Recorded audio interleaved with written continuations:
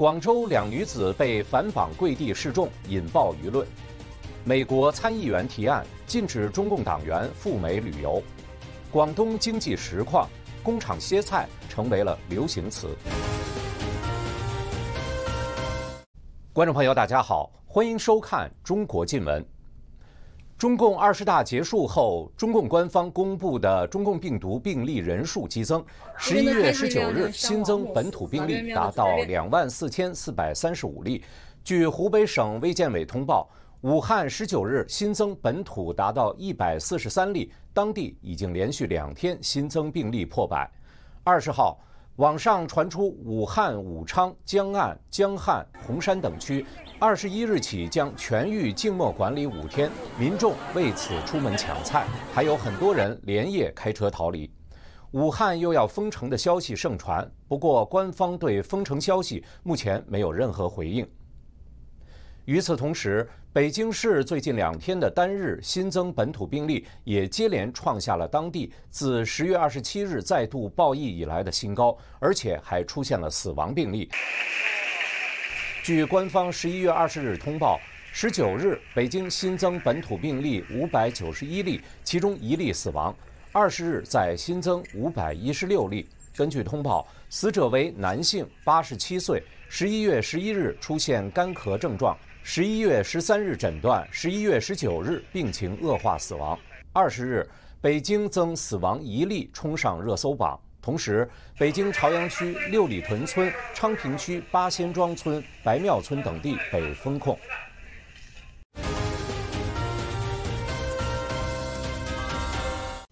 日前，在广州有两名女子因为与防疫人员发生争执，竟被反绑下跪示众。相关图像在网上疯传，人们质问：防疫人员怎么可以随意绑人、滥用私刑？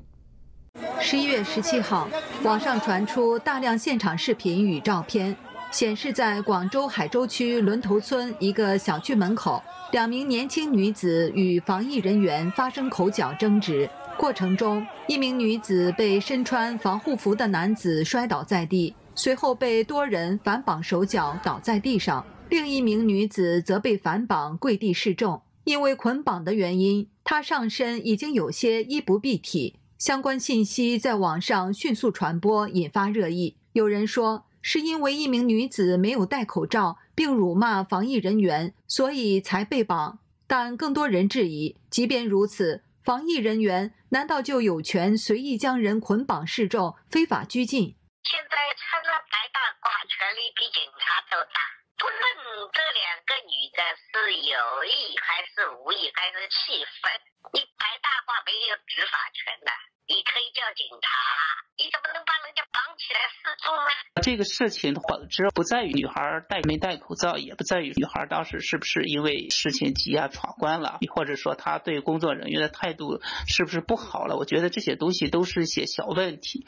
重要的就是我们应该关注的就是说这个事情的重点是中共就不应该把人们封锁起来。时事评论员惠胡宇表示，现在全世界都知道。目前的武汉病毒对人们的伤害与普通流感病毒已经差不多，这个时候中共却非要把人封起来。发生的一切冲突啊，罪恶的根源啊，都是这种不人道的这些防疫措施本身造成的。中共这个防疫政策造成的一个直接的后果，实际上就是群众斗群众，受害者永远都是中国的老百姓。有推特网友表示，不是执法人员，只是工作人员。官威也很大嘛，对两个弱女子也五花大绑，人权就是个笑话。也有人嘲讽，看文革历史资料，就这样啊，一帮没任何执法权的人，可以随便拘押、殴打、关押另一部分人，甚至要拿掉人的性命。中共控制基层社会啊，从来都是依靠群众斗群众来达成的。在面对最底层的民众时，中共通常都是依靠这种临时供应的打手来执行他的政策。比如说我们在防疫中看到的大白，以及在以前拆百姓房产时的那些黑社会成员，都是这一类人。会呼吁表示，中共利用纵容这些人胡作非为、激起民愤的事情是非常多的。这起事件只是因为被拍了下来，才得以被曝光、受到关注。十八号，疑似当事女子在微博发文说，当天是去取外卖，因同行的朋友口罩丢失，与相关人员发生冲突。目前对方已道歉。广州市公安局海珠区分局同一天发布的通报，则隶属两名女子言行不当。最后轻描淡写说，双方经教育后达成谅解。网上流传的一份来自广州官方一二三四五热线的回应。也是大部分在渲染女子言行不妥。结尾声称，相关工作人员认识到处置失当，捆绑行为是个错误，上级对其进行谈话教育。他说：“哎，人家做的太过分了，进行批评教育，这不是批评教育的问题，这是违法犯罪的问题。你有什么权利把人家绑起来，跪在地上失踪啊？我脑子这是无法无天。”大陆知名媒体人邓飞在微博上披露，疑似广州白云区又有一名女子被社区保安反剪双手绊倒，被塑料扎带反绑，躺在地上动弹不得。相关视频和图片都被审查删除。邓飞愤怒质问广州当局：“你不解决防控人员私刑犯罪问题，不保护市民合法利益，却拼命删文删图，还有法治吗？”美国参议院情报委员会副主席卢比奥近日与多位共和党人推出一项法案，禁止发放旅游签证给所有的中共党员。美国参议院情报委员会副主席马可·卢比奥日前与多位共和党人推出一项法案，禁止发放旅游签证给中共党员。卢比奥办公室十一月十八号发布的一份书面声明表示。这项法案是为了遏制中国公民加入共产党，并进一步限制中共在美国的间谍和宣传活动。声明表示，不限制中国公民申请其他签证，包括外交签证、学生签证、体育及艺术人士和投资签证等。卢比奥说，在中共努力成为全世界唯一强国的计划中，他试图削弱和破坏美国。每个党员都被要求为中共的这个目标服务。允许中共党员在美国度假、购物或经商不符合常理。参与这项提案的联邦参议员凯文·克拉默也表示，每一天中国共产党都在伤害美国的利益。参议员里克斯特克也提到，美国一次又一次看到中共特工窃取智慧财产权，在美国土地上追踪美国公民，以及渗透到美国关键研究机构的可怕案子。共产中国是美国的敌人，他正在寻求全面统治世界。纽约职业律师叶宁认为，美国已经注意到中共在国内宣传的就是要战胜美国、统治全世界，霸权主义野心非常明显。美国在补篱笆呢，而且呢，在采取这样一个措施，但是呢，其实不是新鲜的事情。本来移民法两百十二条就规定，共产党员是不准入境的，共产党成员和其他集权组织的成员不准进入美国。也不准在美国获得永久居留身份。旅居澳洲的学者李元华指出，中共在世界上搞战狼外交，对周围弱小的国家搞扩张，这都对世界起到了破坏作用。所以，对共产主义危害世界认识比较清醒的议员才提出了这个法案。这就说明，你作为共产党的一个分子，在自由世界是不受欢迎的，因为你的党性。遏制了你的人性，使得你做出一些不能符合普世价值的一些事情。因为中共他会要求你服从组织，去为他服务。李元华表示，中共党员会按照党的要求去做一些在中共语境中是合情合理的事情，但实际上是在犯罪。十六号，首位被引渡到美国受审的中共情报官徐延军被判决从事经济间谍、阴谋盗窃贸易机密等罪行，判处二十年监禁。十七号，美国联邦调查局局长也表示，FBI 正在调查一个位于纽约市的未经授权的中共警察站，而加拿大也正在调查华人商人资助中共警察分支机构等活动。李元华指出，中国人有两面性，人性的一面知道美国好。所以，中共党魁也把自己的女儿送到美国受教育。中共高级官员、大商人也选择到美国去镀金。文艺界大佬还有一些反美斗士都移民美国，而党性的那一面则是反美。美国议员其实也看到了这一点，他就是要通过法案告诉你：你要追求自由平等的社会，一个安宁的社会，那你就不要加入中共。这样的话，美国才欢迎这样的人。叶宁指出，中共遭到全世界的唾弃。从川普时代，美国开始把中共和中国人区分，但一些中国人入党完全是为了个人利益。加入共产党啊，他不能给党员及其家庭带来各种各样的特权和福利的话，谁愿意加入这个邪党？但是呢，到现在明明知道这是个火坑，但是呢，还是会有人往里跳。因为共产党垄断了全国的资源。叶宁指出，大纪元发表的《九评共产党》对中共的邪恶从实践到理论都进行了系统性的揭露，使大量中国人三退。他们从意识形态和灵魂层面与中共划清了界限，摆脱了邪党的控制，这具有重大意义。广东经济实况，工厂歇菜成为流行词。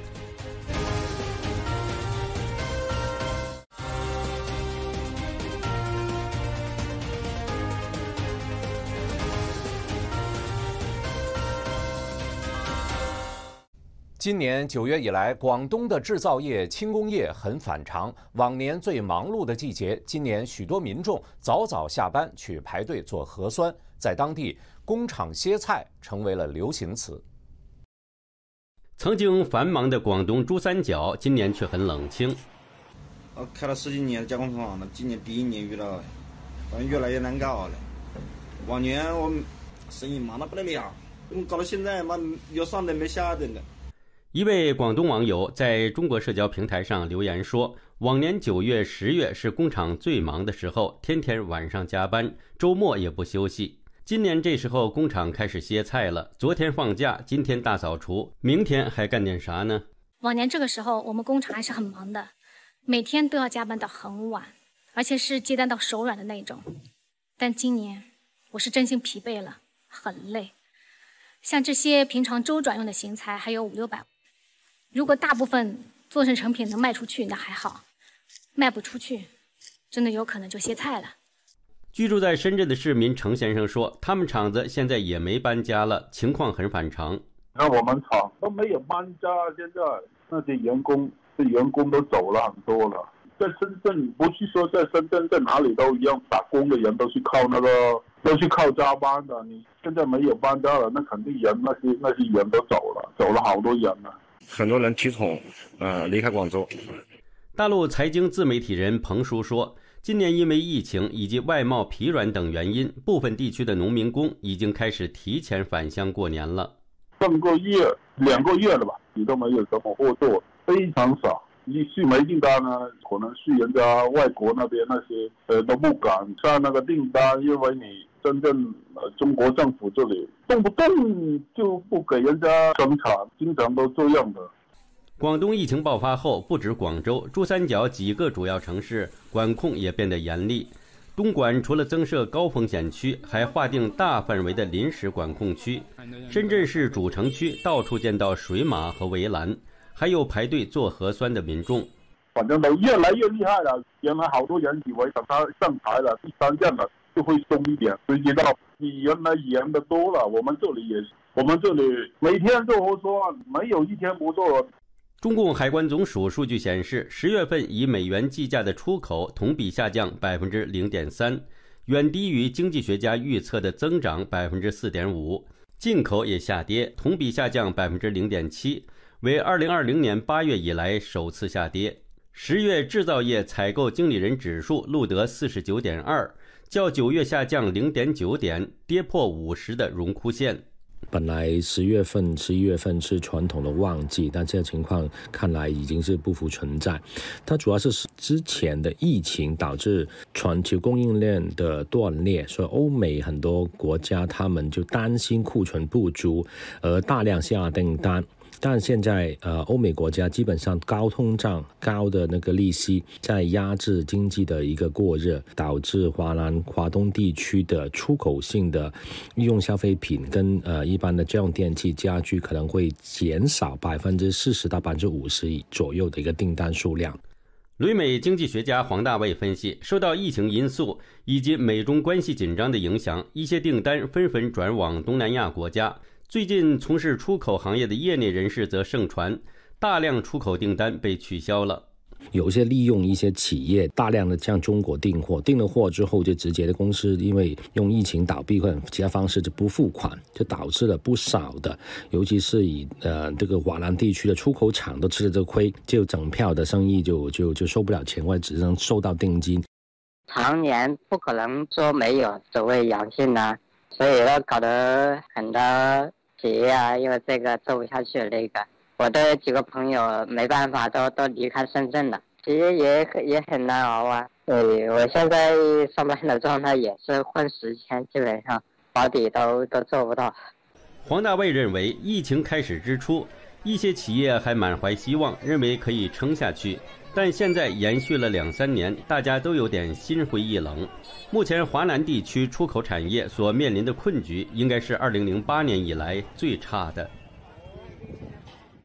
加拿大首次动用信息安全法，对一名魁北克水电公司的华裔员工提出间谍指控。他被指控向中国发送商业机密，对公司造成损害。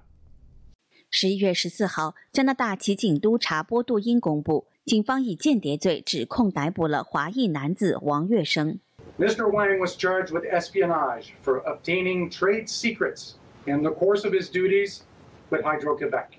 This is the first time this charge has been laid in Canada. 根据加拿大刑法和信息安全法，王月生面临四项指控，包括获取商业秘密、未经授权使用计算机、为获取商业秘密进行欺诈和公职人员违约。魁北克水电公司是加拿大最大的电力公司，也是魁北克省政府的能源供应商。王月生二零一六年起任职于魁北克水力发电公司的运输电气化与储能卓越中心，负责开发用于电动汽车和储能系统的技术。今年八月，魁北克水电公司向皇家骑警举报王月生的违法行为。He reportedly published scientific articles and submitted patents. In association with this foreign actor rather than with Hydro Quebec. It is alleged that he obtained this information to benefit the People's Republic of China to the detriment of Canada's economic interests. 中国长久以来一直就动用骇客、商业间谍，动用各式各样的方式去获得加拿大各式各样的技术。可是我们到今天才首次动用信息安全法这件事情，开始诉诸到了法律的层面。很明显的，我们在这个法律执行上需要更为强化一点。加拿大约克大学教授沈荣清指出。信息安全法是加拿大在一九八五年立法的，二零二二年才首次动用。一方面说明加拿大终于开始重视信息安全，另一方面法律也需要修正。我认为这个法律可能也有必要做适度的修正，让它更能够反映现在现实的状况。举例子，比如说罚金的部分，它的罚金上限是不得超过两千加元。那到今天，如果说是网络安全，这个罚金都已经到千万了。根据蒙特利尔媒体 La Presse 报道，王跃生在与前任论文导师的至少一项研究项目中提到获得中共千人计划的资助。王跃生之前的论文导师胡永胜现在是中科海纳科技责任有限公司的负责人之一，这是一家研发与生产钠离子电池的公司。而王跃生在奎电担任研究员后，继续与中科海纳高管合作，发表有关电池技术的科技文章。在这些论文中，他不提自己与魁北克水电公司的关系，并称自己是中国科学院的研究员。现在美国为首的跟中共所打的是一个不以冷战为名的新冷战，他强调的是竞争。这个竞争本来是要求公平的，但是中共不可能遵守公平竞争的原则。所以在这种情况之下，美国也好，加拿大也好，澳洲也好，所有自由民主国家对于中共这种千人计划窃取技术部分，还要加强查缉。加拿大联邦工业部长商鹏飞对此案也表示，涉及到知识产权以及围绕电池生态系统的关键供应链，例如围绕微芯片时，我们需要非常警惕。我们要改变加拿大经济体制，技术绝对是核心关键。我们再也不能对技术这样子漠漠不关心。联邦需要有政策。去通盘的检讨，不管是学术机构或者是外国人的技术合作的时候，都需要有一个更明确的法规、更严格的审核才行。十五号，王月生首次通过视频会议出庭。联邦检察官因担心当事人潜逃，拒绝王月生当下获得保释。下次聆讯预定在十一月十八号进行，届时将披露更多证据。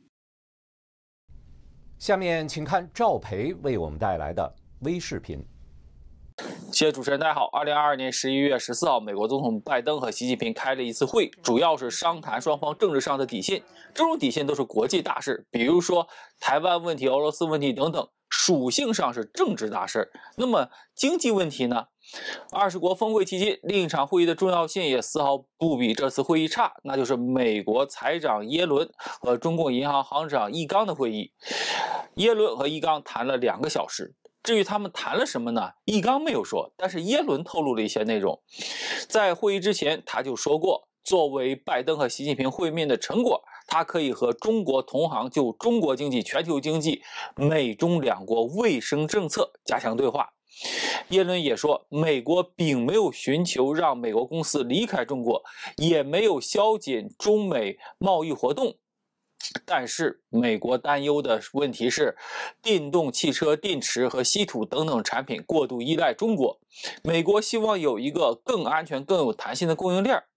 会谈之后呢，美国财政部说了，耶伦和易纲讨论了全球宏观经济和金融发展，包括能源和大宗商品高价和波动所带来的挑战，并就美国和中国的宏观经济前景交换了意见。